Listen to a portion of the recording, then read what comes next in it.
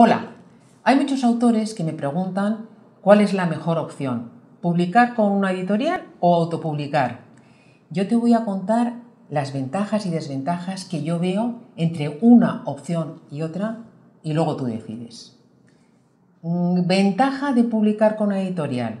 Básicamente, la ventaja es que tienes acceso a librerías físicas. Las editoriales distribuyen en librería física.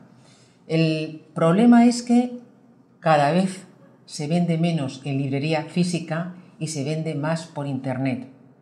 Otro problema adicional es que hay librerías que tienen una gran capacidad de distribución y llegan a muchas librerías y hay otras que no llegan a tanto. ¿vale? O sea que si decides publicar con una editorial es importante que te enteres de esto. Vamos a hablar ahora de las ventajas de autopublicar. Primero, cobras más. Eh, cuando autopublicas, normalmente lo vas a hacer en Amazon, los autores autopublican en, la gran mayoría de los casos en Amazon porque es la gran tienda mundial, también las editoriales, ¿eh? las editoriales también publican en Amazon. Bueno, pues eh, Amazon te paga lo siguiente y vamos a diferenciar formato digital y formato papel. En formato digital, Amazon te paga hasta un 70% de royalties, es decir, el porcentaje sobre el precio de venta al público que, por cierto, pones tú, marcas tú. La editorial te abona un 25%.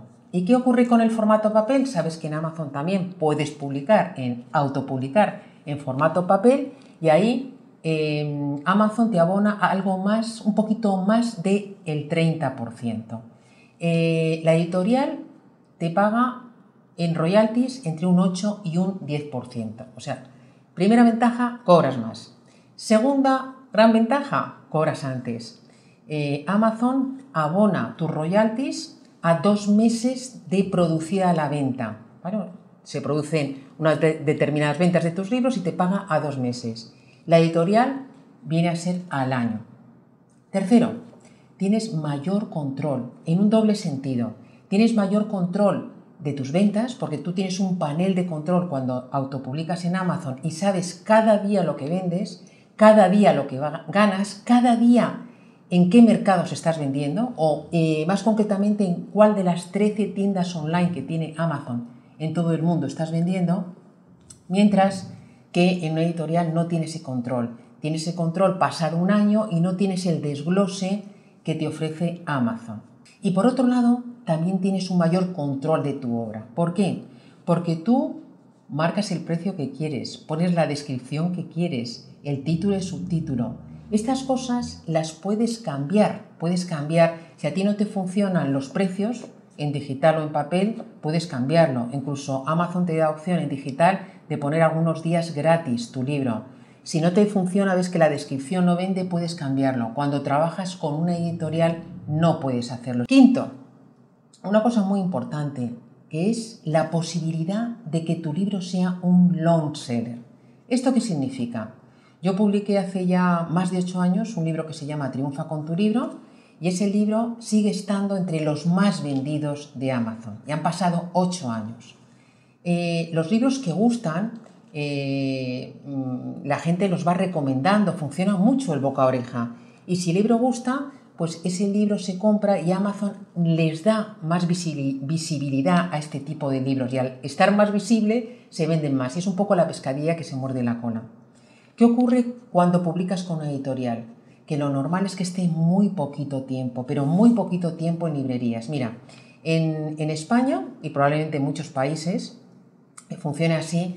Eh, la venta en librerías funciona como venta en consignación. Esto significa lo siguiente eh, la, editorial envía los libros a la librería y la librería eh, los puede devolver si no han pasado más de tres meses. Es decir, llegan los libros, el, librero o la librera los tiene que sacar de las cajas, ponerlas, a veces lo pone en mesa, a veces lo pone en, estantería, depende, y entonces eh, mm, si el libro no tira mucho, no tira mucho, esos libros se devuelven y la gran mayoría, desgraciadamente, la gran mayoría de los libros se devuelven, a no ser que tú tengas, seas una celebrity, a no ser que tú tengas una gran, gran audiencia, es muy difícil eh, mm, que, que esos libros tiren dentro de la librería. ¿Y qué es lo que te ocurre? ¿Cuál es el drama real?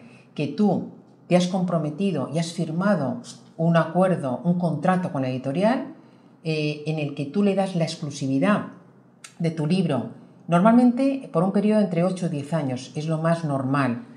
Y ese libro se retira y no puedes sacarlo. Ese libro no puedes sacarlo a ningún sitio. Ese libro se acabó ¿no? durante ese periodo de tiempo. Así que ya te he contado cuáles son las ventajas y desventajas para que tú decidas.